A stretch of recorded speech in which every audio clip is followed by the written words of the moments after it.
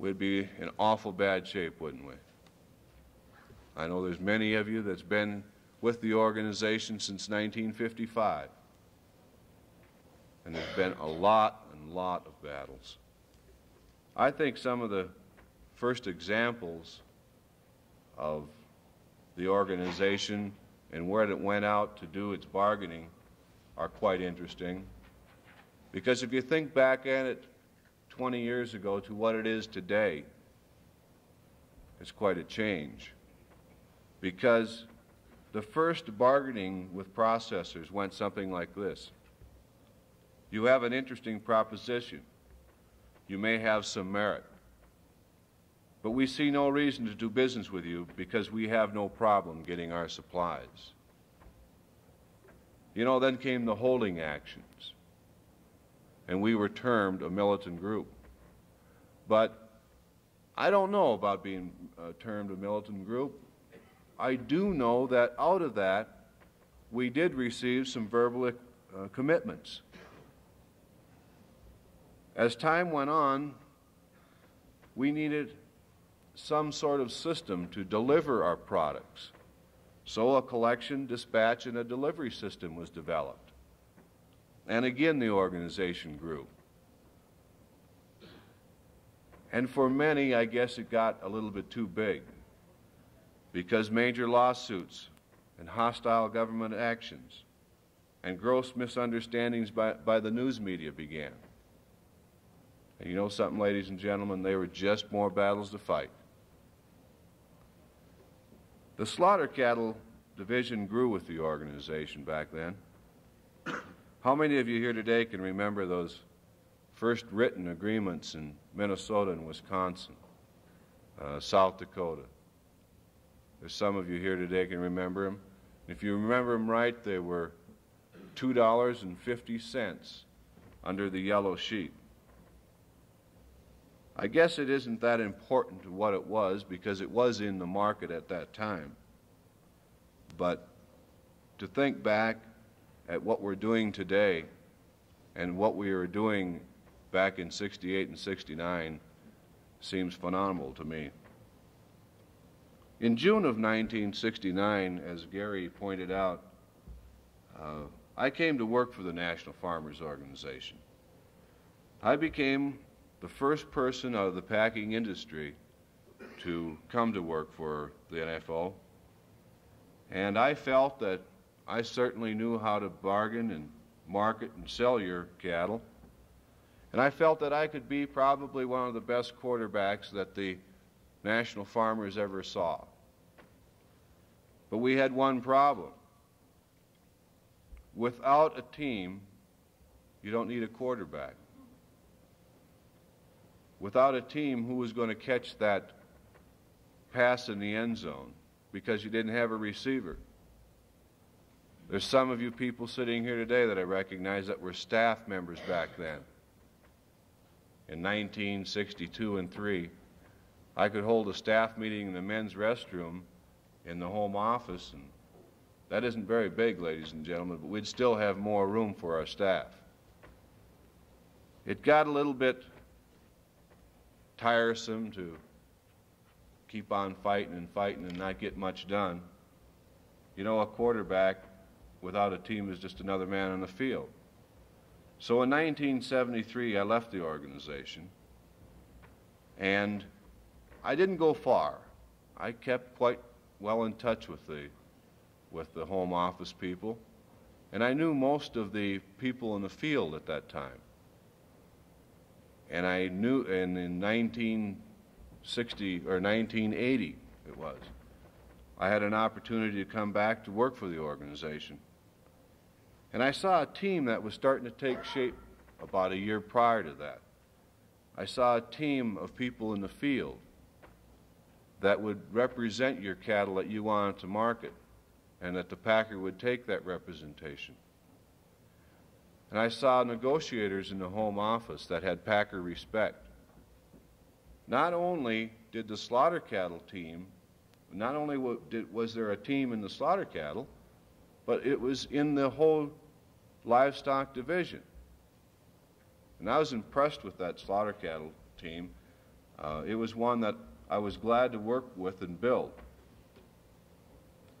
As the blocks of cows and fat cattle grew over the past years, so did the prices you received.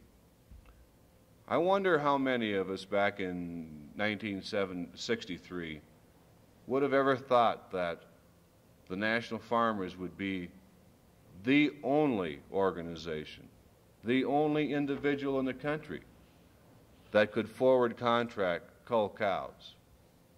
They don't have a market for it, but we did it. We've been doing it. How many of us back then would have thought that we could have that we could price our fat cattle and our fat hogs months in advance. You know, that's what we all joined the organization for. That's why I'm working for the organization. For the cost production plus a reasonable profit. Sure, there are times, people, that you can't always do it. You can't always lock in a price due to market conditions. But when you can, you have to use these forward contracts just to keep you in business. We've talked a, a little bit about the Packer and a little bit about the organization and the cattle feeder. I'd like to discuss a little bit about marketing at this time.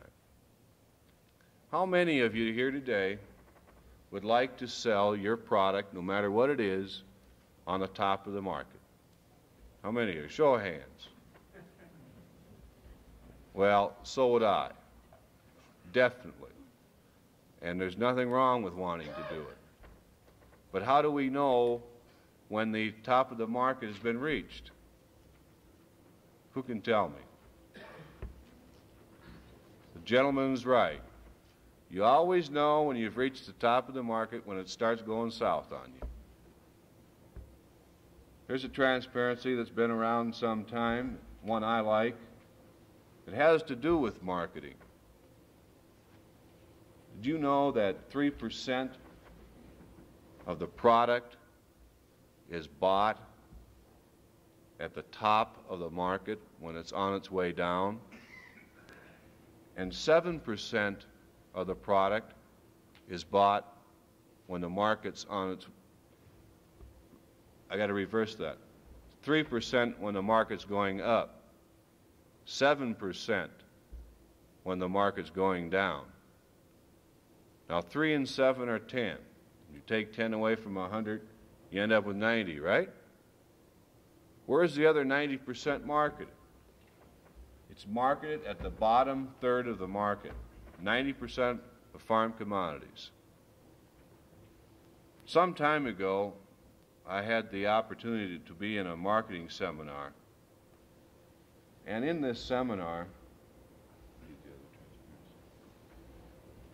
and in this seminar, there was an individual by the name of Dr. Dennis Beege. And Dr. Beege has taken a, a survey.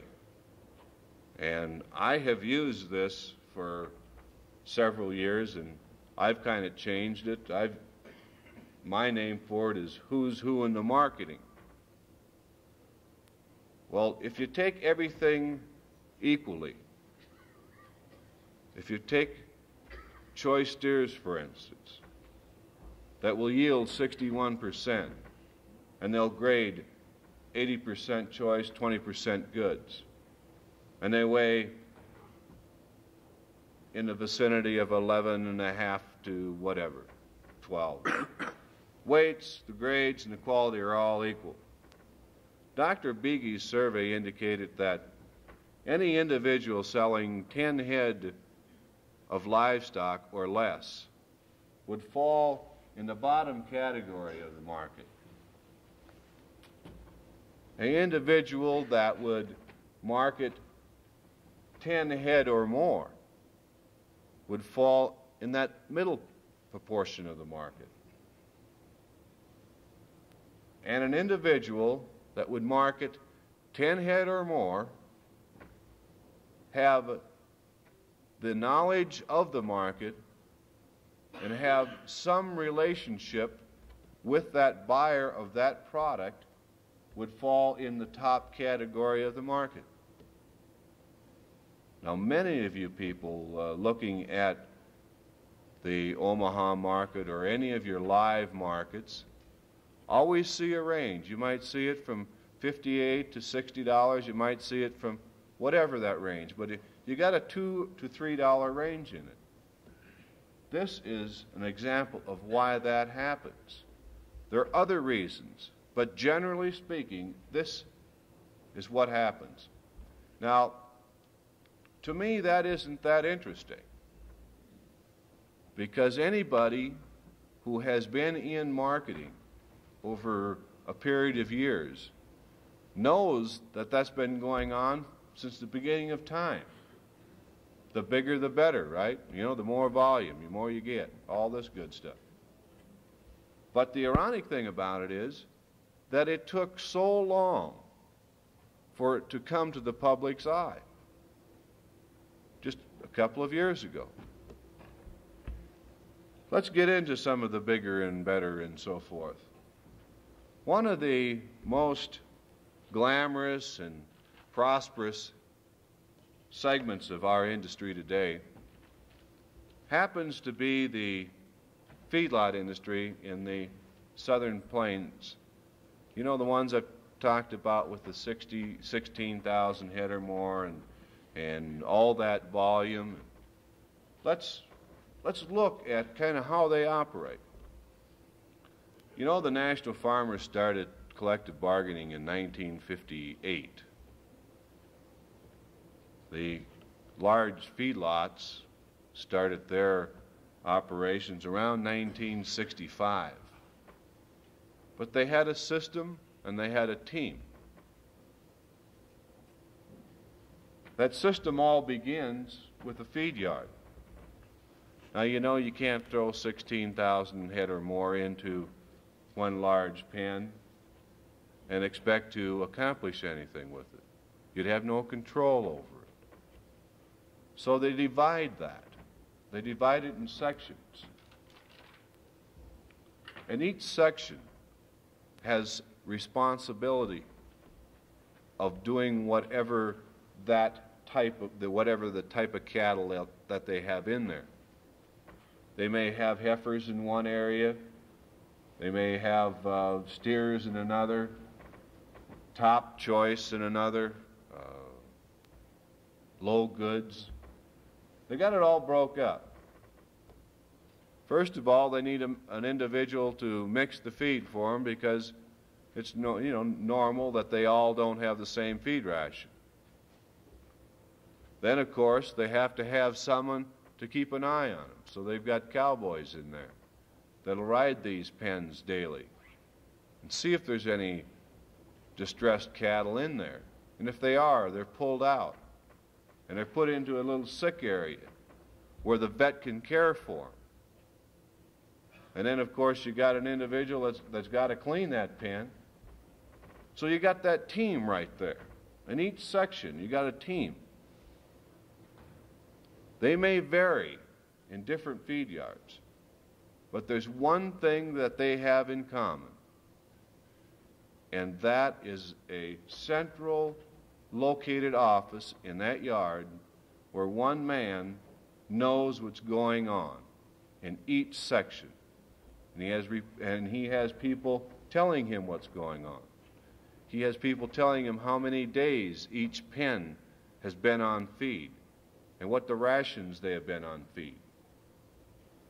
And he controls that. He knows when pen X and so and so is ready to go.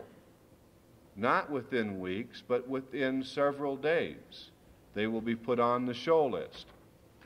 Well, what happens when they get on the show list? That individual buyer doesn't go in and talk to the cowboy or the, or the, the uh, veterinarian or something about a given low, uh, pen of cattle in those areas. He goes directly to the sales office.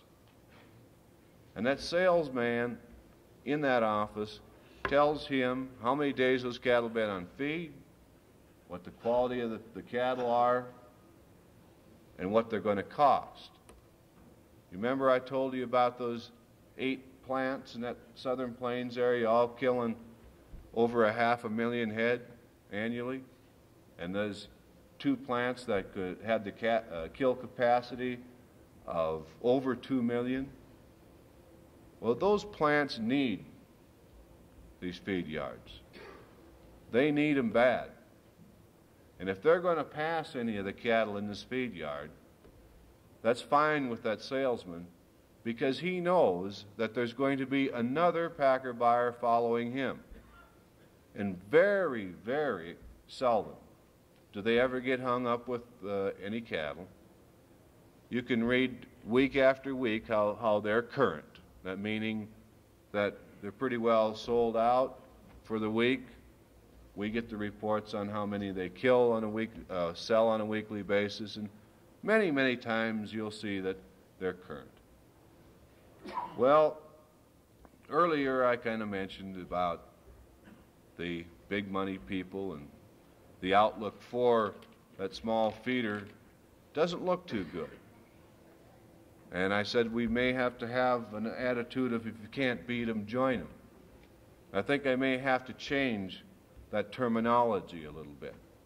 I'm going to have to say if you can't if you can't beat them, be like them. After all, they have followed the pattern of the national farmers in collective bargaining. That's a perfect example of collective bargaining right there. But how do we do it? We don't have the feed yards to, to put the nation's cattle in, in these yards and compete with these people.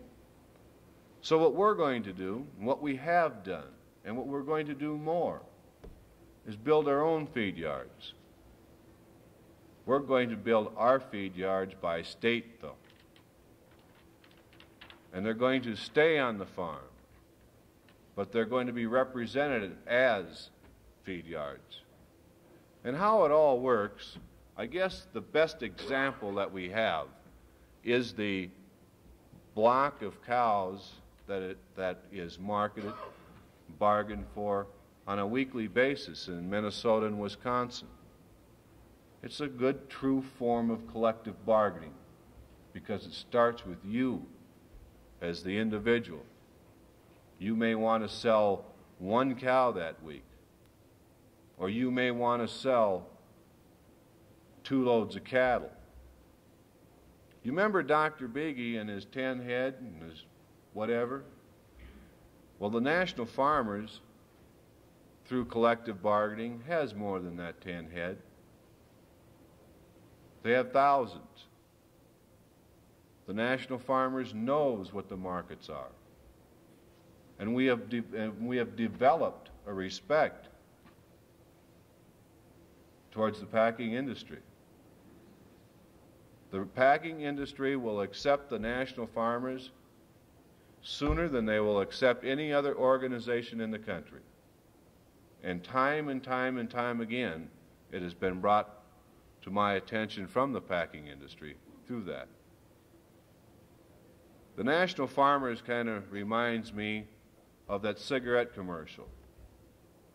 You know the one I'm talking about with the gal? You came a long way, baby. Remember that? Well, the organization has. And I want to give you a little example of our collective bargaining. We'll take and use county structure to build that individual feed yard. Let's say that this is the state of, of uh, Wisconsin. Right now, we have three staff members in the state.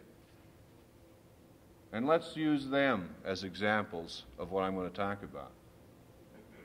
When an individual member in the state of Wisconsin or Minnesota, or for, for that matter, in many states that the organization is in, if they have something to sell, they will call a county meat committee man or a, designated individual in that county.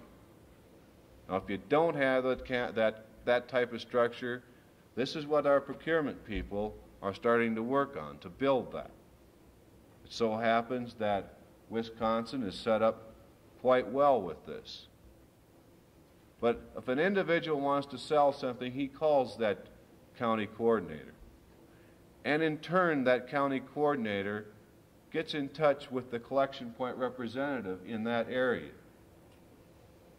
The three people, the three staff members that we have in Wisconsin, are in charge of coordinating six to eight collection points. And he works tightly with that group. He attends their county meetings. He attends the, the collection point board meetings. He tries to be a part of that given area. Well, when the collection point rep is ready, he'll call our staff man, or our staff man will call him and ask him how many he's going to have, how many head of livestock will he have for this particular week. And in turn, that staff man will call that centrally located office. It's a simple process. Now, when you put all this together on a Monday morning, usually it's about Monday afternoon, we'll know what the head count is for the week, what type of cattle they are. And by that I mean how many cows, and how many Holstein steers, and how many colored steers and heifers. Not only that, but we will know what day they're going to be delivered. Now, we've had some problems in the last couple of weeks with delivery. And an interesting thing happened. The packer called and he said, Andy, he said, your organization is getting too big. You've got to keep that number within a reasonable amount. And I said, Well, you know, Gene, we're keeping within that 10%. And, uh, you know, he said, he said, That's not bad. Two and three years ago. 10% wouldn't hurt me any. But he says, Do you realize what you're doing when you're talking 10% of 15 to 2,000 head of cattle? He said, I'm going to have to hold over some of my cattle because you're gone over. Likewise, if it turns over the other way, if we're short, then his kill will be short. So the coordination has got to be real close, and it has been. The, the logistics on this is phenomenal. It is unbelievable. And who has done it? Not myself, not Merle Sunken or Gary Ellis. It's the people in the field. They make it happen. The only thing that we do is coordinate it. The success of this, I want to show you. I have a marketing figure here from 1979 to 1983. And a lot of people have seen this. But it tells a story. It tells a story of what can happen when true collective bargaining works in marketing. The black line on top is the National Farmers members' prices since 1979 to 83. The white line is the average price received by the individuals who sold their cows in the sale barns. Now, how do we get these figures? The University of Wisconsin is very co- uh, cooperative with us in gi- giving it. Once a month, a man by the name of Ed Lippert calls our office, and he tells us what the average price the state brought. And then, in turn, we tell Ed what, what uh, the National Farmers brought. Now, what that individual does with it, I'll be damned if I know. You know, I, I think he puts ours in there and then tries to work it all out. I know what we do with it. We use it with, you know, examples like this. But I want to show you something. Everyone in the home office still steps in their trousers, one leg at a time. I don't believe I've ever seen anybody walk on water in Corning. If I do, I think I'll probably leave. But I want to show you we made a mistake.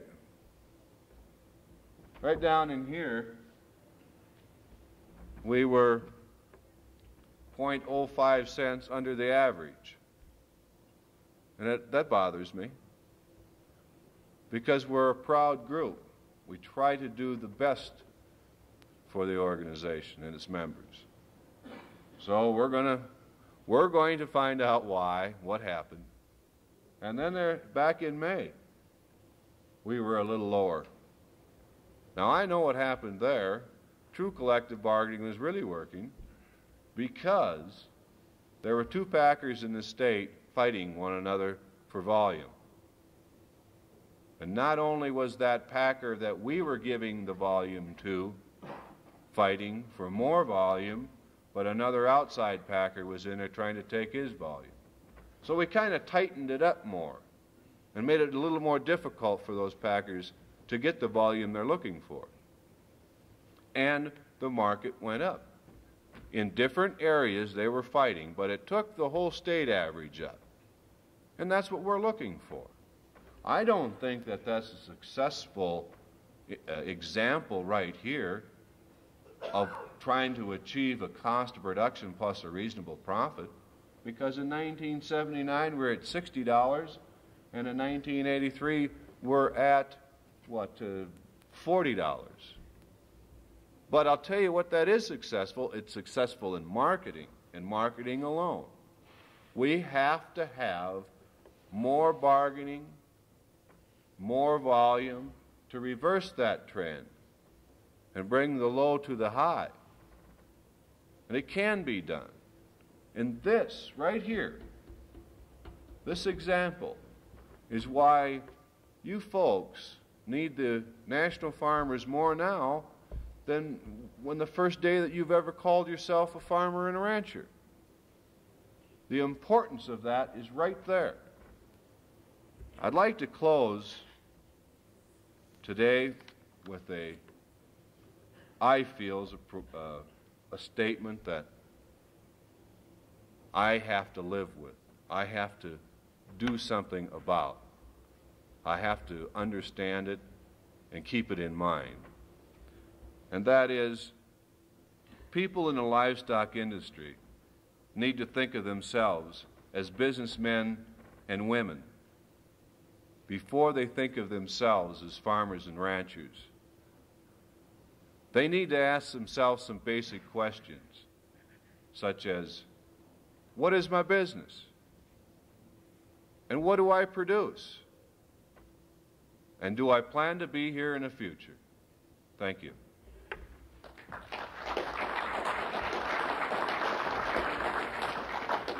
At this time, I'd like to have Merle come up.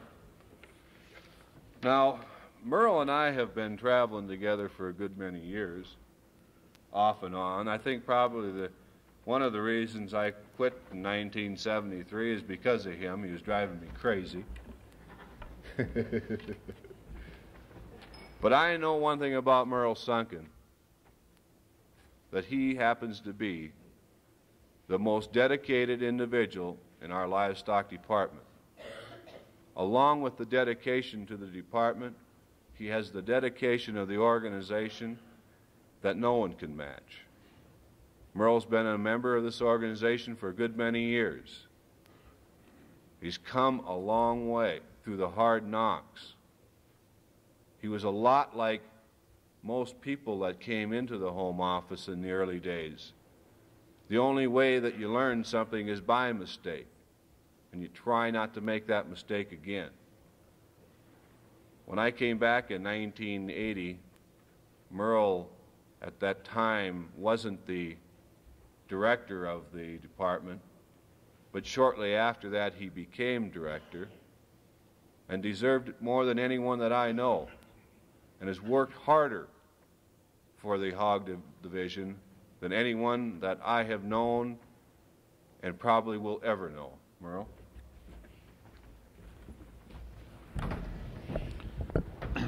Thank you, Andy. And only one thing I don't like about Andy, he just talks a long time. But uh, I would like to relate some transparencies here for you this afternoon. I like to relate to you exactly in our opinion, what has happened in the hog industry in the past year, where the hog industry, I think, in our opinion, is going, and where you and I, as hog producers, should be fitting into that situation. The first transparency that I'm going to show you this afternoon is one on imports and exports, and I'm going to show you here that in 1980 to 1981 and to 1982, but I'm just going to compare the 1981 and 1982 figures here, and if you could see those, you will be able to detect that there's about 30,000 metric tons more export into the United States, excuse me, more exports out or fewer exports. I'll have it here in a moment. The exports in the United States are some 30 million, 30,000 metric tons lower in 1982 than it was in 1981. And in 1982, there were 30,000 metric tons more imports than there were exports also. So we have some 60,000 metric tons of more pork in the United States in 1982 just through imports and exports. I think that's what the government has done for you and I as hog producers. The other part I think that the government has idly set by and allowed to happen in this country that we live in to you and I as hog producers, and that's the fact in from 1978 through 1983, we have seen the per capita consumption of pork in the United States go from in 1980 from 68.3 pounds per person to an estimated this year of 1983 of 54 and a half pounds. And by the way, ladies and gentlemen, that's exactly where the government is uh, estimating the poultry to be also this year. So, the first time in history, the poultry uh, per capita consumption and the pork will be the same. So, I think that our government has idly sat by and not worked in the behalf of the pork producers of this great nation. I'd like to now go in and get a very positive attitude because I think that's all the negativeness we need in this particular presentation. I'd like to show you what you have done as an organization. Now, the figures that I'm going to be showing you, and I'll be showing you several transparencies here, and if you'll bear with me, I'll point out some very particular points of these transparencies that uh, we in the business of, of, marketing your hogs and also the packing industry and the government uh, looks at these various type figures all the time from time to time. So let me show you what you producers and NFO has done in the past few years. This is a transparency of a five year market from 1979 through 1983 and this is a five year average, is based on the interior Iowa practical top country points, and is a mid-session market quoted each market day by the U.S. Market News Service and are as a- accurate as humanly possible. Interior Iowa country mid-session quotations. And for an example, in January of 79, the average hog market, the practical top of all the hogs sold in the state of Iowa for January was $51.40. Well, that's not what I brought this transparency for. I brought the transparency for the fact that in 1979, in the month of the last week in October and the first week of November, your president, DeVon Woodland, called a national sow sell off program for your organization because of a very low market situation. And as you see here in this transparency, the October market was $33.98 average, and November was $35.09 and was staying in that category. All right, Did it have any effect? Well, I think I and you, as hog producers, know how long it takes for a sow to have pigs and for those pigs to grow up, and it's approximately nine to ten months, depending upon what type of a producer you are as an individual. But let's just use a nine month uh, program here and let's count them off. One, two, three, four, five, six, seven, eight, nine. So, in the month of June and July of 1980, the hog market raised a little over $11 per hundredweight on an average for those two months. Would anybody, pray tell me, how that that could happen unless someone made it happen? And yes, your organization, you, you made it happen you made it happen because you did something together. Well, then I often hear that uh, we in NFO, we do something, but nobody else follows along, and the non members, they don't participate, and a lot of other things. So this year, when we called for a sow sell off program on June the 8th of 1983, and by the way, let's look at that market. In June of 1983, you had a $44.86 average hog market, and it had been running for the year. Uh, in January it was 56, in February it was 56, and then all of a sudden it started downhill. But in June, when the sow sell off program was announced by your president, DeVon Woodland, we started because he and the rest of us very definitely seen a tremendous buildup of hogs coming to market this fall, and because the sows weren't being sold off and were being held back, we've seen a real tragedy coming. Now, I don't know that I necessarily truly believe in the law of supply and demand uh, as it is set today. The true law of supply and demand will work if everything is in balance, but it is not in balance today. But that's another story. I went and we started keeping records of exactly the number of hogs going through the seven major terminal markets. NFO people don't sell there. We don't deliver there, but I did want to see what the non participating members were doing, the non members were doing, the people that you and I have not talked to about this great organization. We wanted to see what they were doing with their sows. Were they taking advantage and holding back? I don't believe so. Because when we started it on June the 12th, 8th, excuse me, of 1983, you see that particular week, there was 9,379 or 97 sows sold on those terminal markets. The very next week it jumped to 13,066 sows, or an increase of 17% more sows sold on the terminal markets the following week. And it kept climbing and climbing and climbing till on September the 3rd, week ending September the 3rd, there was 80, uh, excuse me, 48% more sows moved on the terminal markets than there had been the previous year. The previous year there was 10,721 sows. In 1983, there was 15,894 sows. Do you think that happened by accident? Absolutely not. That happened 100% because of your farm organization that you are so proud of, and I'm so very, very proud of, came to life and came right up front, and before the pig crop report came out, and started it because we did have the accurate figures, we did see it coming, and we tried to prevent a total disaster in the hog market. Let's follow that through just one more step.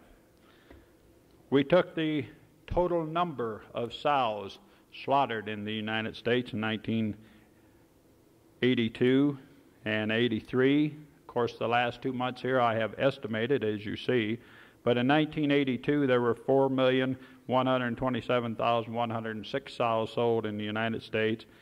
And already I know that I estimated the month of November just a little bit low, and December I think will also be a little low in these particular figures. But there should be approximately uh, 4 million and I'm saying now 600,000 head of sows slaughtered in the United States this year. Well, are we going to see an $11 jump in the hog market nine months from now? No, I don't particularly believe we will because, first off, we started $10 a hundredweight more than we started in 1979. Remember, in 1979, we had a $33 hog market when the sow sell off program started. This year, we had a $44 hog market, but we've seen where it was going and we tried to put some preventative actions into it, and that will work. We have now slipped into the top $30 range on hogs, but what will happen? The hog market will go back up now. We will be in the low $40 range, and you are now approaching another time when you and I, as hog producers, can lock in our cost of production plus a reasonable profit on our hogs in the months to come. Let me show you just a few more figures that I believe I can verify that with. Here's one I always like to show first, though. This is called the law of supply and demand. And I guess it just aggravates me because of the things that I see happening in the hog industry. I took 1981 again and 1983. In January of 1981, for an example, we had a $40.69 hog market. In 1983, we had a $56.13 average hog market, or a $15.44 difference, with an 18% lower number of hogs being killed. Well, I'm not going to bore you with all these other figures because you can see them. But let's just drop down here to October. And with a 15% lower number of slaughter hogs this month, we also lost $4 on your hog market. Up here, you had 18% lower numbers. You had $15 more on the market. Down here, you had a 15% lower numbers and a $4 lower market. So if anybody chooses to talk about supply and demand, why, I also understand that, like I said a minute ago, if it's truly in balance, it will work. Here's the only transparency that I brought with me that I used last year, and this was a warning because if you remember my presentation last year, I said that the hog producers just prior to our convention a year ago came became very independent. I guess I would say we became greedy because we had a 54 to 58 dollar hog market in that range. We forgot about forward contracting our hogs because we would not contract them for 51 to 52 dollars, which you could have done for the entire year of 1983, but we chose not to as individual producers. Well, it took you to a $37 hog market.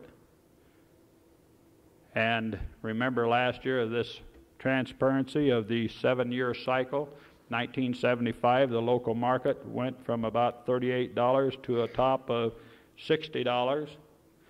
1982, seven years later, it went from $44 up to about $64, and the terminal markets went as high as 68. And I warned, you know, what was going to happen. We talked about it. Lock in hog for 1983. We became greedy as we did seven years ago. You did the exact same thing seven years ago, and the hog market seven years ago in 1976 went to less than $30. And in 1983, only because of your organization calling for a sell, sell-off program that that was curtailed up to about a 37 $38 range, and now we'll go back up. But once again, you and I as hog producers got a little bit too greedy and we didn't lock in the gains that we had made